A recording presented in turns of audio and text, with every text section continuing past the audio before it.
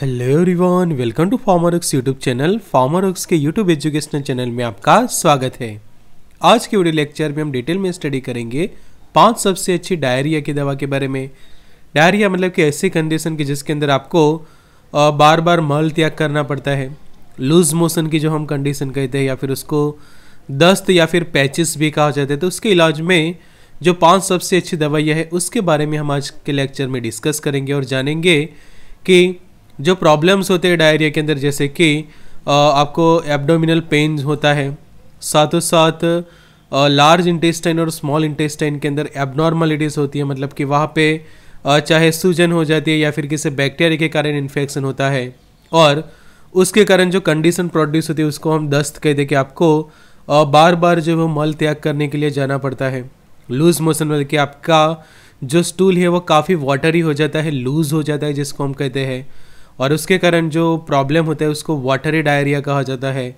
और bowel movement मतलब कि आपकी जो इंटेस्टाइन की जो मूवमेंट है, वो बढ़ जाती है और उसके कारण आपको बार बार जो है, वो टॉयलेट के लिए जाना पड़ता है। फिर कई बार म्यूकस भी आता है स्टूल के अंदर। स्टूल के अंदर वाटर कंटेंट बढ़ जाता है और साथ ही साथ आप को पेट दर्द और नौजिया जैसा भी फील होता है। तो उसके इलाज में जो बेस्ट ट्रीटमेंट है, वो हम आज डिस्कस करेंगे। तो expert lecture by Amar sir assistant professor and founder of Pharmarox thank you for been Pharmarox family जैसे आज हम सीखने वाले हैं डायरिया के बारे में, ऐसे ही सीखे अलग अलग बीमारियों के बारे में, उनके उपचार के बारे में मेडिसिन कोर्स के अंदर की। जैसे हम आज सीखेंगे कि कौन सी दवाइयाँ हम डायरिया में यूज़ करेंगे, उनके डोज जानेंगे साइड इफ़ेक्ट्स जानेंगे तो ऐसे ही मेडिसिन कोर्स में अलग अलग बीमारियों के बारे में सीखे, दवाइयों के बारे में सीखे, और वो भी अफोर्डेबल प्राइस में एक साल तक तो ज्वाइन करने के लिए हमें व्हाट्सएप करें nine zero one six three one two zero two zero पर या फिर हमारी ऐप को डाउनलोड करें। एंड्रॉयड एप्लीकेशन भी डाउनलोड कर सकते हैं, या फिर आईफोन एप्लीकेशन भी आप डाउनलोड कर सकते हैं। लिंक डिस्क्रिप्शन बॉक्स में मिल जाएगी। या फिर आप हमें सिर्फ़ और सिर्फ़ व्हाट्सएप करें nine zero one six three one two zero two zero पे।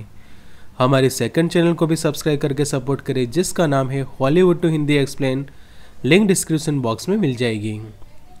तो अब जानिए डायरिया। डायरिया मतलब कि ऐसी कंडीशन की जिसके अंदर आप जो है दिन में तीन या फिर तीन से अधिक बार जो है वो स्टूल पास करते हैं।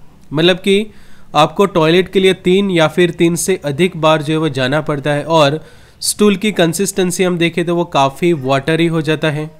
तो ये होने पीछे का एक मेन रीज़न ये होता है कि आपकी जो बाउल मूवमेंट है बाउल मतलब कि आपके इंटेस्टाइन की जो मूवमेंट है, वो इंक्रीज हो जाती है और जिसके कारण आपको अ, ये कॉम्प्लिकेशंस होता है। फिर इन्फेक्शन के कारण जो स्टूल होता है उसकी कंसिस्टेंसी भी काफ़ी बिगड़ जाती है कि नॉर्मली जो स्टूल होता है उसके अंदर ऑयल एंड वाटर का अच्छे से बैलेंस होता है। बट डायरिया के अंदर क्या होता है कि उसके अंदर जो वाटर कंटेंट है वो काफ़ी इंक्रीज होता है। जिसके कारण आप देखो तो हम कहते हैं कि उसको वाटरी डायरिया कहा जाता है। काफ़ी वाटर एंड इलेक्ट्रोलाइट्स भी ये दस्त के साथ जो है वो लूज़ होते हैं। तो जैसे मैंने अभी आपको समझाया जो प्रॉब्लम्स डायरिया के जिसको पैचेस भी कहते हैं, दस्त लूज मोशन बार बार टॉयलेट के लिए जाना स्टमक पेन होना नोजिया होने तो उसके पीछे रीजंस क्या है? तो बहुत सारे रीज़न है। तो एक प्राइमरी इन्फेक्शन जो है, वो रिस्पॉन्सिबल है इसके लिए कि अगर किसी को इन्फेक्शन होता है तो ये इन्फेक्शन के कारण जो है वो लूज मोशन जो है वो आपको हो सकते हैं। जैसे कि इन्फेक्शन होने का रीज़न है कोई फ़ूड पॉइजनिंग आपको हुआ है तो ऐसा कॉन्टेमिनेटेड फ़ूड खाने से या फिर ऐसा पानी पीने में आया है कि आप कई बार देखो कि ट्रैवलिंग करते हो ट्रैवलिंग के दौरान फ़ूड या फिर वाटर की जो क्वालिटी है वो चेंज होती है। या फिर सा कोई ऐसा कॉन्टेमिनेटेड आप वाटर या फिर खाना खा लेते हैं। मतलब कि जो दूषित खाना या फिर दूषित पानी से भी ये फैल सकता है। फिर स्टमक फ्लू जो हम कहते हैं कि कुछ ऐसे वायरस या फिर बैक्टीरियाज भी रिस्पॉन्सिबल बनते हैं। इसके लिए फिर कुछ दवाइयों के साइड इफ़ेक्ट के कारण फिर आईबीएस के अंदर एक ये सिम्टम बनता है कि अगर आप इरिटेबल बाउल सिंड्रोम के पेशेंट हैं तो भी आपको बार बार और डायरिया हो सकते हैं। फिर अ, किसी को मिल्क का इंटॉलरेंस है सोए प्रोटीन का इंटॉलरेंस है मतलब कि आप मिल्क डाइजेस्ट नहीं करते अच्छे से तो भी अगर आप मिल्क या फिर मिल्क कंटेनिंग प्रोडक्ट्स लेते तो भी आपको तुरंत डायरिया हो जाएगा। या फिर कोई ऐसे मेडिकेशंस या फिर कोई ऐसे फ़ूड की आपको एलर्जी है या फिर सेलियक डिसीज में जो है वो कॉम्प्लिकेशंस बनते हैं डायरिया तो ट्रैवलर्स डायरिया एंटीबायोटिक्स की साइड इफ़ेक्ट एनजाइटी मतलब कि स्ट्रेस है चिंता है फ़ूड एलर्जी फिर अपेंडिसाइटिस की condition radiation enteritis intestinal ischaemia तो सभी के अंदर एक डायरिया जो है वो आपके लिए सिम्टम बनता है। तो ये है बहुत सारे अलग अलग रीजंस की जिससे आपको दस्त हो सकता है। तो बच्चों में भी इसके काफ़ी सारे रीजंस है कि कोई मेडिकेशंस के कारण, कोई बीमारी के कारण, अगर स्टार्टिंग में आप उनको सॉलिड फ़ूड देना चालू कर देंगे स्टार्टिंग में वो मिल्क लेता है और फिर धीरे धीरे कोई सॉलिड फ़ूड खाना स्टार्ट कर दे तो भी उनको डायरिया जैसा होता है या फिर कई बार ट्रैवलिंग करो एरिया चेंज हो तो भी हो सकता है। तो बहुत सारे माइक्रो ऑर्गेनिज्म जैसे कि रोटा वायरस है, फिर एडिनो वायरस है, उसके कारण भी ये हो सकता है।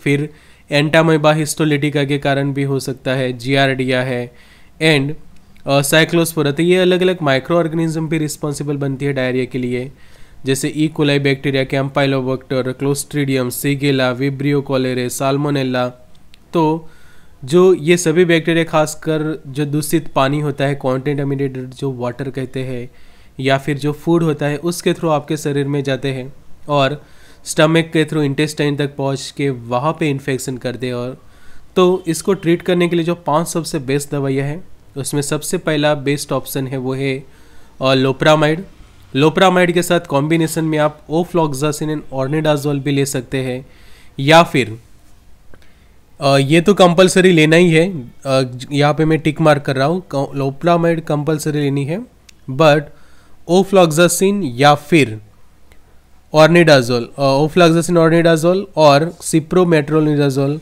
में से कोई एक तो यही रहेगा ऑप्शन में। ये खास समझिए कि दो और तीन में से कोई एक कॉम्बिनेशन के, समझो कि आप लोप्रामाइड के साथ कॉम्बिनेशन बनाते हैं ओफ्लॉक्सासिन एंड ऑर्निडाजोल का तो ये एक बेस्ट कॉम्बिनेशन बनेगा दस्त को ट्रीट करने के लिए डायरिया को ट्रीट करने के लिए। फिर इससे भी समझो कि ठीक नहीं हो रहा तो आप एक और मेडिकेशन उसमें ऐड कर सकते हैं, जिसका नाम है एंटेरोक्विनॉल और अगर ऐसी कंडीशन है कि डायरिया लंबे समय तक चलते हैं और ऐसा हो रहा है कि आपके स्टमक की लाइनिंग या फिर इंटेस्टाइन की लाइनिंग्स डैमेज हो रही है या फिर ऐसा प्रॉब्लम हो रहा है कि काफ़ी लंबे समय तक डायरिया चल रहा है तो उस वक्त एक और मेडिकेशन ऐड की जाती है दैट इज़ सल्फासेलेजिन और ये सभी मेडिकेशंस के साथ कंपलसरी रहेगा एक दूसरा option that is O R S कि आपको ओ आर एस जो है वो कंपलसरी लेना है ये सभी मेडिकेशंस के साथ। तो समझिए डिटेल में लोप्रामाइड के बारे में तो लोप्रामाइड जो है वो एंटी डायरियल ड्रग कही जाती है और ये आपके लिए फ़र्स्ट चॉइस रहती है डायरिया के दौरान। अगर आपको डायरिया हुए तो ये मेडिकेशन आपको कंपलसरी फ़र्स्ट चॉइस के तौर पे लेनी है। बिकॉज़ ये क्या करता है? एंटी मोटिलिटी ड्रग है। मतलब कि आप समझो कि डायरिया के अंदर जो प्रॉब्लम है, वो है बाउल मूवमेंट जो है, वो इंक्रीज होना। कि आपकी बाउल मूवमेंट मतलब कि इंटेस्टाइन्स की जो मूवमेंट है, वो इंक्रीज होती है तो उसको डिक्रीज करना ज़रूरी है। तो उसके लिए ये लोप्रामाइड जो है, वो दी जाती है कि जिससे जो मोटिलिटी है, वो कम होती है, कि जिसके कारण वाटर स्टूल जो है, वो स्लो हो जाता है लूज मोशन स्लो हो जाते हैं, और आपको जो है वो काफ़ी रिलीफ मिलता है लोपरामाइड खाने के बाद। इसके डोज की हम बात करें तो फोर एम जो है वो शुरुआत में पेशेंट ले सकता है और उसके बाद दो एम और मैक्सिमम दस एम जितना आप दिन में ले सकते तो सिंपली मैं आपको बता दूँ कि ये जो दो मिलीग्राम की जो टैबलेट है वो दिन में तीन बार जो वो पेशेंट ले सकता है। वन वन वन के तौर पे कि एक आप सुबह खाते एक दोपहर और एक रात को। तो इस तरह से दो एम का डोज दिन में तीन बार पेशेंट ले सकता है और क्रोनिक डायरिया है तो दो एम दिन में आप दो बार लीजिए। लोपरामाइड कुछ साइड इफ़ेक्ट्स कर सकता है, जैसे कि डिजीनेस है ड्राउसीनेस टायर्डनेस मतलब कि थकान हो सकती है कॉन्स्टिपेशन जैसा। तो वीडियो के बीच में बता दूँ कि हमने जो सेकंड चैनल चालू किया उसको ज़रूर से सब्सक्राइब करें और हमें सपोर्ट करें। लिंक डिस्क्रिप्शन बॉक्स में मिल जाएगी। तो हमारे सेकंड चैनल का नाम है हॉलीवुड टू हिंदी एक्सलेंस को ज़रूर से सब्सक्राइब करें और हमें सपोर्ट करें। तो सेकंड जो ऑप्शन है आपके पास वो है ओफ्लॉक्सासिन और निडाजोल तो लोप्रामाइड तो आप लेते ही है बट साथ में और ये मेडिकेशन भी आप खास लेके कर आपको डायरिया हुआ है, कि जिसका नाम है ओफ्लॉक्सासिन और निडाजोल की जो एक एंटीबायोटिक दवाई है, कि जिसके अंदर दो दवाइयों का कॉम्बिनेसन है। एक एंटीबायोटिक है, वो है ओफ्लॉक्सासिन है, और दूसरा ऑर्निडाजोल कि ओफ्लॉक्स रहता है 200 सौ जितना ऑर्निडाजोल रहता है 500 सौ और उसका डोज रहता है एक या दो टैबलेट पर डे मतलब कि एक टैबलेट के बाद अगर समझो कि आप दूसरी टैबलेट लेते हैं तो दोनों के बीच में एटलीस्ट ट्वेल्व आवर्स का डिफरेंस होना चाहिए. और मैक्सिमम जो है वो तीन दिन का कोर्स रहता है कि छः टैबलेट्स दी जाती है. एक टैबलेट आप दिन में दो बार खाते हैं तो uh, ये हो गया डे वन के लिए कोर्स ये वाला जो है वो डे टू और तीसरा जो है वो डे थ्री के लिए. तो मैक्सिमम तीन दिन लेने से डायरिया जो है वो आपके ठीक हो जाते कि अगर और रीज़न है कोई बैक्टीरियल इन्फेक्शन फ़ूड पॉइजनिंग के कारण कॉन्टामिनेटेड वाटर के कारण आपको दस्त हुए हैं. तो ये मेडिकेशन कुछ साइड इफ़ेक्ट्स भी कर सकती है जैसे कि डिजीनेस कर सकती है सिर दर्द जैसा और स्टमक अपसेट जैसे कंडीशन नोजिया वॉमिटिंग है लॉस ऑफ़ एपेटाइट मतलब कि भूख कम हो जाना और कुछ केसेस में उसके ओवरडोज से डायरिया और ज़्यादा बिगड़ सकते हैं या फिर आपको कॉन्स्टिपेशन हो सकता है ये मेडिकेशन के कारण और, मेटालिक टेस्ट जैसे साइड इफ़ेक्ट्स डेवलप करती है ये कॉम्बिनेशन तीसरा ऑप्शन है आपके पास कि अगर मेट्रोनिडाजोल और सिप्रोफ्लॉक्सिन का है अगर ओफ्लॉक्सिन और निडाजोल आपके लिए काम नहीं कर रही है तो दूसरा ऑप्शन बनता है सिप्रोफ्लॉक्सिन है मेट्रोनिडाजोल का। तो उसमें क्या करते हैं कि कई बार मेट्रोनिडाजोल की जो है वो पेशेंट को ड्रिप भी लगाई जाती है कि टैबलेट्स खाने से डायरिया ठीक नहीं हो रहा है, काफ़ी ज़्यादा नोजिया वॉमिटिंग हो रही है। तो उस वक्त जो मेट्रोजिल करके जो उसका ब्रांड है, उसका जो ड्रिप लगाया जाता है और या फिर फ्लैजिल करके जो उसका कॉम्बिनेशन है तो जो पैरासाइटिक इन्फेक्शन जो हम कहते हैं कि एमेबिक डिसेंट्री और डायरिया की एंटामोबा हिस्टोलिटिका के कारण या फिर उसके सिमिलर दूसरे जो पैरासाइट से परजीवी के कारण डायरिया हो रहे थे उस वक्त ये काफ़ी बेस्ट ऑप्शन रहता है आपके लिए और डोज जो है वो रहता है दो सौ दिन में तीन बार या फिर 400 से लेकर 500 सौ दिन में तीन बार मैक्सिमम डोज के तौर पे बट यूजुअली मिनिमम डोज से ही ट्रीटमेंट शुरू की जाती है। उसी तरह से सिप्रोफ्लॉक्सासिन का भी कॉम्बिनेशन यूज़ किया जाता है तो मेट्रोनिडाजोल और सिप्रोफ्लॉक्सासिन दोनों कॉम्बिनेशन में जो है वो दी जाती है। और सिप्रोफ्लॉक्सासिन का भी डोज रहता है 500 सौ दिन में, दो बार, या फिर खासकर आप लोअर डोज से ट्रीटमेंट जो उसके स्टार्ट करते हैं 500 सौ जितना पेशेंट जो है वो रिसीव करता है। और ख़ासकर इसका भी कोर्स जो है वो एक या फिर तीन दिन तक रहता है। और उसके बाद अगर ज़रूरत पड़ने पर ही मेडिसिन ली जाती है, वरना आप जो है वो स्कीप कर सकते हैं। तो ये मेडिकेशन के भी सिमिलर साइड इफ़ेक्ट है, ओफ्लॉक्सासिन और निडाजोल की तरह ही। ये क्योंकि दोनों में जो ओफ्लॉक्सासिन और सिप्रोफ्लॉक्सासिन दोनों सेम है, और मेट्रोनिडाजोल की तरह ही ऑर्निडाजोल की इफ़ेक्ट रहती है। तो दोनों के साइड इफ़ेक्ट्स जो है वो सिमिलर रहते कि जो अभी हमने डिस्कस किए। चौथा ऑप्शन है एंटेरोक्विनोल कि, अगर आगे के दो मेडिकेशन के कॉम्बिनेशन से भी आपके डायरिया कंट्रोल में नहीं आ रहे तो एक और ये मेडिकेशन ऐड की जाती है कि जिसको एंटी एमोबिक ड्रग कहा जाता है। और ये बहुत सारे अलग अलग जो एमेबिक इन्फेक्शन होते हैं, उसको ट्रीट करता है। और उसके अंदर जो मेडिकेशन है, वो है क्विनी ओडोक्लोर करके है 250 सौ एम जितना रहता है। और जिसका डोज रहता है 250 से लेकर 500 सौ दिन में तीन बार, या फिर maximum 1.5 gram per day. But ये बच्चों में यूज़ नहीं करते, ये खास ध्यान रखें कि एंटेरोक्विनॉल को बच्चों में यूज़ ना करें। तो एंटेरोक्विनॉल के कुछ साइड इफ़ेक्ट्स है, जैसे कि लीवर फ़ंक्शन टेस्ट एबनॉर्मल आ सकता है, और सिर दर्द या फिर एब्डोमिनल पेन कर सकती है। स्टूल का कलर ग्रीन हो सकता है। आपको नोजिया वॉमिटिंग जैसा फील होता है फीवर भी होता है, उसके कारण ठंड लगती है। मतलब कि ये मेडिकेशन अगर आप लेते हैं तो थोड़ी देर बाद ही आपको ठंड लगेगी और बुखार आएगा। हेयर लॉस जैसे कॉम्प्लिकेशन और वर्टी को मतलब कि चक्कर भी आ सकते हैं। तो अगर ज़रूरत है तो ही ये मेडिकेशन ली जाती है डायरिया के अंदर। एक अच्छा और बेस्ट ऑप्शन है कि जैसे डायरिया कंट्रोल में आते ही अगर दूसरी मेडिकेशंस वर्क ना करें बट शुरुआत में समझे कि लोप्रामाइड ओफ्लॉक्सासिन और ऑर्निडाजोल से समझे कि आपके डायरिया कंट्रोल में आ जाते हैं। तो ये चौथे नंबर वाली मेडिकेशन लेने की ज़रूरत नहीं है, कि जिसका नाम है एंटेरोक्विनॉल पांचवा एक है, वो है सल्फासेलेजिन तो अब जानिए सल्फासेलेजिन का रोल क्या है डायरिया के अंदर को। कई बार क्या होता है कि डायरिया के कारण आपके जो बाउल होते हैं मतलब कि आपके जो इंटेस्टाइन होते हैं, वहाँ पे इन्फ्लेमेशन यानी कि सूजन आ जाती है।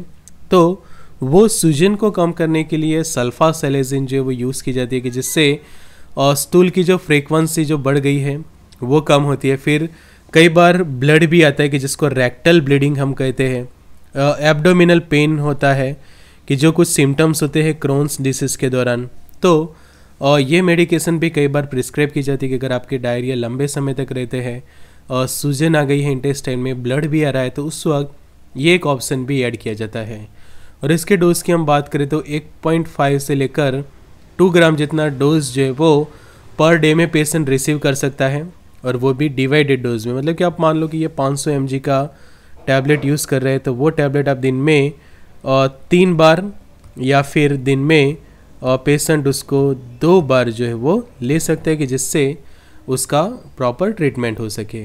ये मेडिकेशन को साइड इफ़ेक्ट्स करती है, जैसे कि स्टमक अपसेट मतलब कि पेट में आपको अनकम्फर्टेबल जैसा फील होगा नोजे वॉमिटिंग हो सकती है भूख कम होना, सिर दर्द और डिजीनेस मतलब कि नींद आना, थकान जैसा, और ये एक साइड इफ़ेक्ट खास नोटिस की जाती है कई बार कि स्किन या फिर यूरिन का कलर ऑरेंज येलो होना। तो अगर इनमें से कोई भी साइड इफ़ेक्ट ज़्यादा सीवियर होती है तो सल्फाजलाजिन को और लेना जो है वो बंद कर देना चाहिए। और आगे के जो हमने जो ऑप्शंस कहे कि एक आप लोप्रामाइड जो है वो ले सकते हैं, या फिर ओफ्लॉग्स एंड ऑर्निडाजोल प्लस साथ में ओ आर एस तो इतना भी पेशेंट कंटिन्यू रखता है तो भी उसका डायरिया जो है वो ट्रीट हो जाता है। साथ ही साथ जो हाइड्रेशन के लिए, क्योंकि हमने जाना कि वाटर ही डायरिया हो जाते हैं, पानी काफ़ी लॉस होता है, जो लूज मोशन हम कहते हैं स्पेशली कि काफ़ी ज़्यादा वाटर भी लॉस होता है तो उसके कारण डायरिया के कारण डिहाइड्रेशन कई बार होता है। तो ओरल रिहाइड्रेशन सॉल्ट्स की ज़रूरत है कि जो आपको जो लॉस ही हुए मिनरल से और वाटर जो है वो आपको फिर से देता है। एक तो ओआरएस जो है वो खास लेना चाहिए कि अगर आपको डायरिया होता है तो वो मेडिकेशंस तो आप ले ही रही हैं। बट साथ ही ओआरएस और डाइट की हम बात करें तो डाइट में आप जो है वो बनाना खाएँ और कुछ भी खाना है वो अवॉइड करें बनाना खाएँ। एप्पल साइडर विनेगार जो है वो ले सकते हैं टोस्ट ले सकते हैं और और राइस सबसे बेस्ट कॉम्बिनेशन कहे तो बनानाज और राइस और साथ ही साथ एप्पल सॉस या फिर एप्पल साइडर विनेगर या फिर एक और उसमें ऐड कर सकते हैं, वो है कर्ड यानी कि दही आप खा सकते हैं अगर आपको दस्त होते हैं। तो जैसे अभी हमने सीखा, ऐसे ही सीखे डिटेल में मेडिसिन कोर्स के अंदर और दवाइयों के बेसिक यूज़ के बारे में, उनके dose side effect warning contraindication एक साल तक अफोर्डेबल प्राइस में फार्मारॉक्स के ऐप ऊपर। तो ये कोर्स ज्वाइन करने के लिए हमें व्हाट्सएप करें nine zero one six three one two zero two zero पे। साथ ही हमारे सेकंड चैनल को भी सब्सक्राइब करके सपोर्ट करें। लिंक डिस्क्रिप्शन बॉक्स में मिल जाएगी। Good luck and all the best